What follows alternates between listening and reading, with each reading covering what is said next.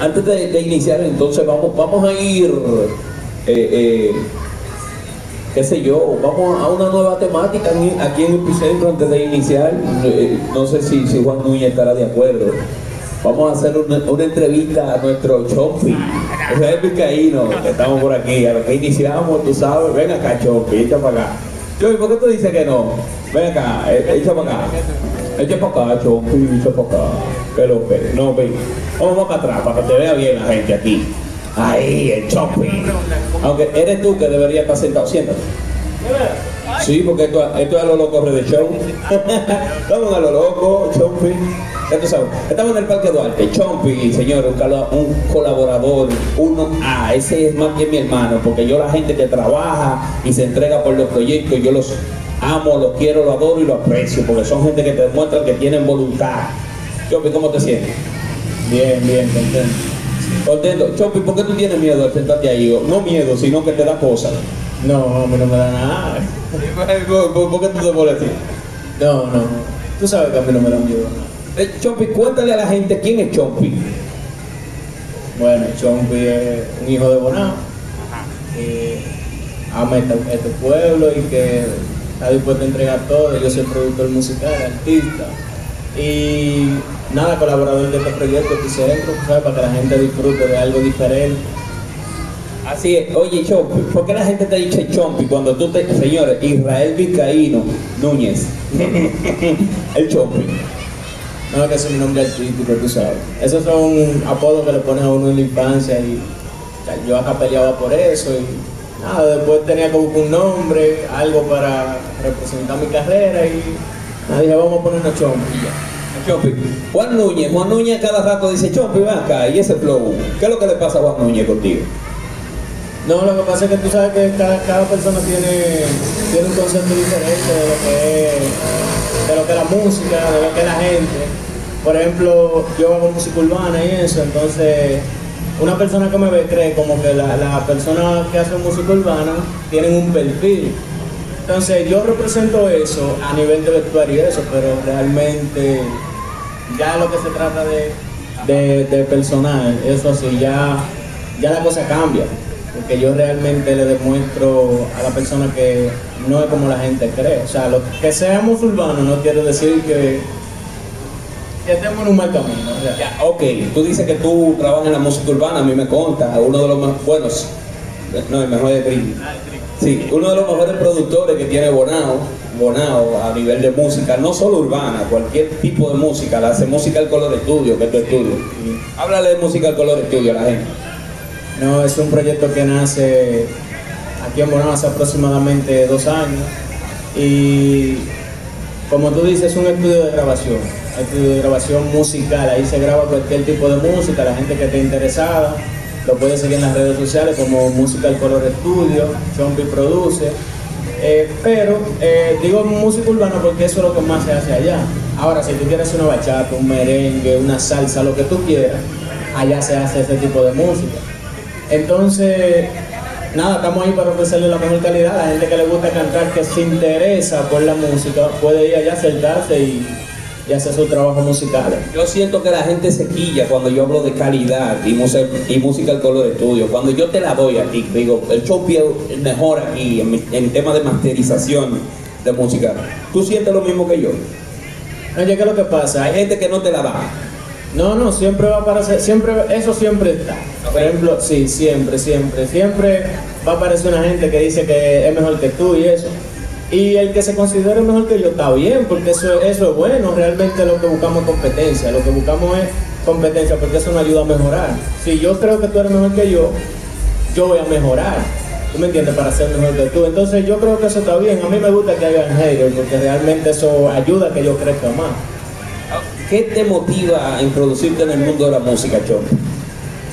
Bueno, es una larga historia, pero te resumo que, que fue por mi abuela, en paz descanse. Eh, desde que yo estaba pequeño, ella le gustaba que yo le cantara. Yo pequeño, te hablo de 7 años, 6 años. eh, en ese tiempo había salido Don Omar, que estaba bien en su buena, con una canción que decía, dile que bailando te conocí. Y yo le cantaba esa canción a ella. Sí, yo siempre le cantaba esa canción a ella, entonces ya siempre me decía que, que yo desde pequeño, te estoy hablando, tenía arte para la música. Ahí está mi profesor Juan Núñez, que era mi profesor de música, pero yo tenía un detalle, yo era un poquito indisciplinado, realmente. Él me daba clases y todo, pero yo era indisciplinado. Entonces, nada, comencé a ver los artistas grandes, cómo, cómo se desenvolvían y fui adquiriendo disciplina, fui adquiriendo respeto a lo que hago y esto lo veo como mi trabajo, como mi pasión, como mi vida, como todo. Entonces de ahí nace ese deseo de hacer música, fue por mi abuela realmente. Los mejores proyectos de música del color estudio y en qué está Chompi ahora mismo. Bueno, todos los proyectos que se han hecho allá para mí son buenos porque yo a todo le pongo el mismo amor, a todo le pongo el mismo desempeño. Pero hay proyectos que han trascendido uno más que otro. Por ejemplo, ahí trabajamos nosotros con, con Aaron Boy. Eh, sí, eh, yo trabajaba en una compañía musical, pero ese es un logro que yo me puedo decir que fui yo que lo hice, porque fui yo que trabajé en el tema. Entonces, ese es uno de los mejores proyectos, no de los mejores realmente, sino de lo que más trascendido ahora mismo en lo que es mi carrera, pero nosotros también hemos trabajado con el Potter, con muchísimos artistas urbanos, también hemos trabajado bachata con el clásico de aquí, de, de Bonao, muy buen artista. Y qué te digo, siempre seguimos trabajando y poniéndole mucho empeño a todo lo que hacemos. Por eso no te puedo decir que tengo un proyecto mejor que otro, porque a todos yo le pongo el mismo empeño. ¿Cuáles son los artistas con los que el Chompi ahora mismo está trabajando? Actualmente tenemos la Britney, esa es la artista estelar del estudio, colaboración con JD, la voz, la voz mística, que aquí ya tienen que conocerlo la gente porque se va a reconocer bien, bien a nivel de música romántica y RB. Entonces, estos son los artistas ahora mismo, ahora mismo que trabajan de la mano con música del color estudio directo. A nivel de rap tenemos desenlace rap, Low King, eh, que son los artistas ya que, que realmente esos son los chimosos, como yo le digo, ese es mi clan chimoso. El Don Larry G, que son la gente que representan a nivel de... ah, y La Brega, incluso que, también se me olvidó decir. La Brega. Está pasando por algunas situaciones, pero realmente estamos esperando que eso se resuelva pronto. Vamos a cambiar de tema, Chopi. Yo iba a hablar del género, pero ya eso no nos interesa hoy.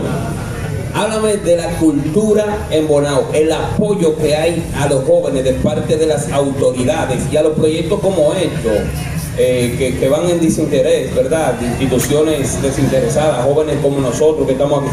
¿Cómo tú notas ese apoyo de, de las autoridades a la cultura? Bueno, eso realmente yo lo noto nulo. Nulo, nulo. Nulo, nulo totalmente.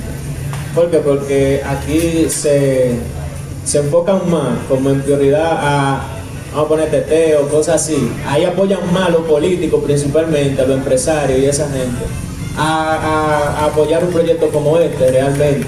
Aquí no, no tenemos fines de lucro ni nada de eso, pero es algo que si las autoridades se, se interesaran, sería algo que crecería más y aportaría mucho a la cultura de Bonao principalmente y a la sociedad, a la formación de, los, de cada ciudadano que se da cita al Parque Duarte los sábados a las 7 de la noche.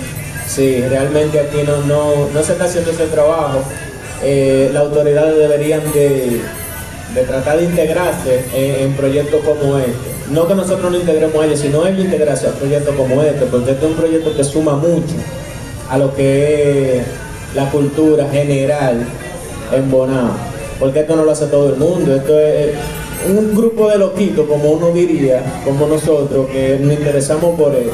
Entonces las autoridades deberían de ver esto como, como algo que aporta a la, sociedad. Eh, tú, aparte de desenfocándonos de este proyecto cultural y todo eso, la juventud, ¿tú crees que recibe apoyo? No. No, oye, la juventud no recibe apoyo a nivel de nada, no me refiero nada más musical, a nivel de nada. Aquí la juventud eh, simplemente yo lamento decir esto, pero aquí en Bonao es uno de los sitios que hay menos fuente de empleo. Aquí se vive de la remesa prácticamente.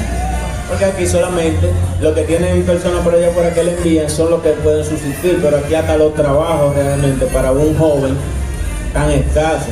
Entonces por eso yo no juzgo casi a nadie que yo veo en la calle, que atraca o que hace eso. No estoy a favor de los atracadores ni nada de eso. Pero que es una de las opciones que hay realmente para salir adelante aquí en Bonao. No, no, no para salir adelante, sino es que, que yo opino, o sea, yo opinando en lo que tú estás diciendo, que quizás, quizás esa es la opción que les dan, porque no les dejan de otra. Sí, o sea, no hay, no hay fuente de empleo y la que hay tienen muy poco, muy pocas personas trabajando realmente. Y entonces, ¿qué te puedo decir? Si esa es la opción que hay, nadie va a dejar morir un hijo que tenga. Ya son las siete y media, vamos a empezar con Epicentro, pero dar un mensaje final a, qué sé yo, a esos políticos, a los empresarios de Bonao, que apoyen la cultura, que no abandonen al joven. No, a los políticos yo lo que les puedo decir es que los jóvenes son el futuro y si nosotros no A la él tenía razón. si nosotros no atendemos a los jóvenes, o sea, ustedes como autoridades, lamentablemente el futuro está perdido, porque no hay otra forma. A los muchachos que están haciendo música, que ven este proyecto, señores, no se rindan. Y otra cosa, traten de hacer la cosa bien, siempre. Siempre el camino de Dios es bueno, lo primero. Y otra cosa, el camino correcto. Porque su mamá principalmente se siente mal cuando un hijo le sale mal.